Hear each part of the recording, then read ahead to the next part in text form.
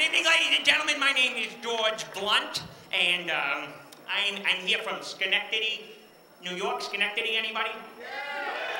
And I am here with the, the Kiwanis Club. And Kiwanis, anybody?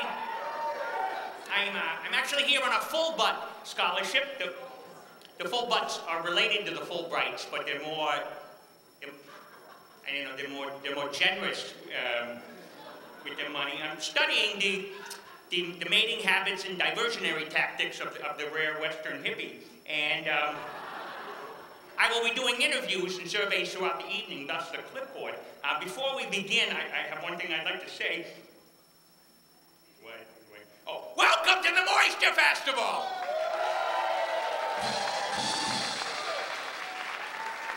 And that was that was good, but but but not very. So we're going to start with a song. It's a participatory song in which you are involved and engaged and you, and you do things. Um, and there's, there's one line that you have to learn in the song, and it goes like this. Nuns in a cloister, and he'll play the drumming for you. So you say nuns in a cloister. When he does that, you goes. Okay, well, you, you weren't listening because he'll do it twice, actually, okay?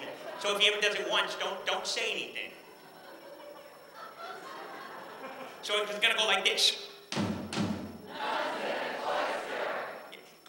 Then um, if I ever do this, that means just sing whatever seems appropriate at the time. we'll, we'll go ahead then. We'll just go ahead and do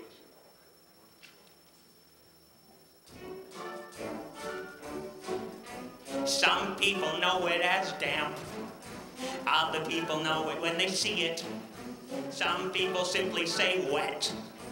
Other people simply want to be it whatever you say, however you name it. It's raining cats and dogs, and you really can't blame it. It's plain to see, there's nothing to fear. You're gonna get soggy if you live round here. It's moisture. It's moisture. We can't get out, we're stuck in here like. It's a good thing we love the rain, but the best darn thing of all is we got the Moisture Festival. One more time. We got the Moisture Festival. Now scream like you mean it. Good. Good. That was good. That was super, super good. Good, good, good.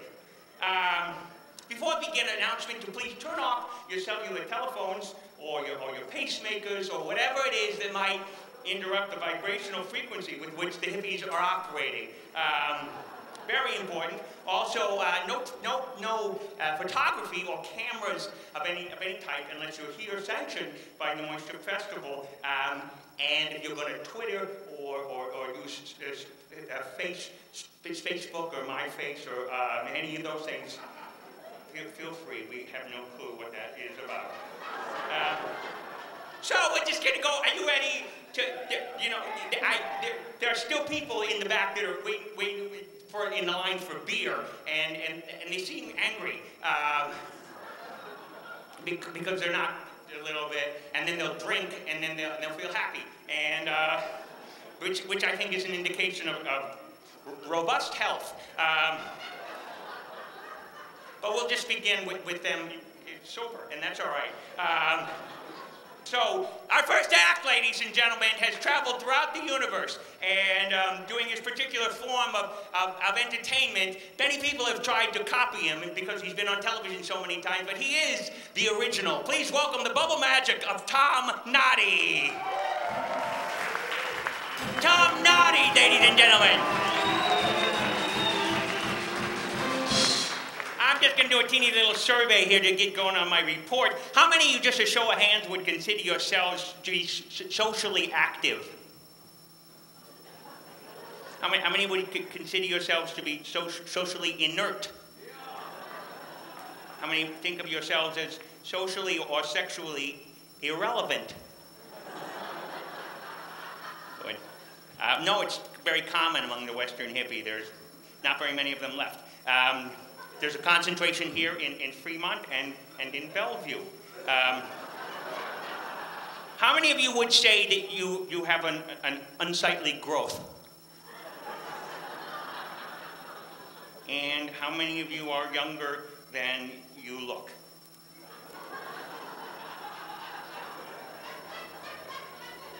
Very good.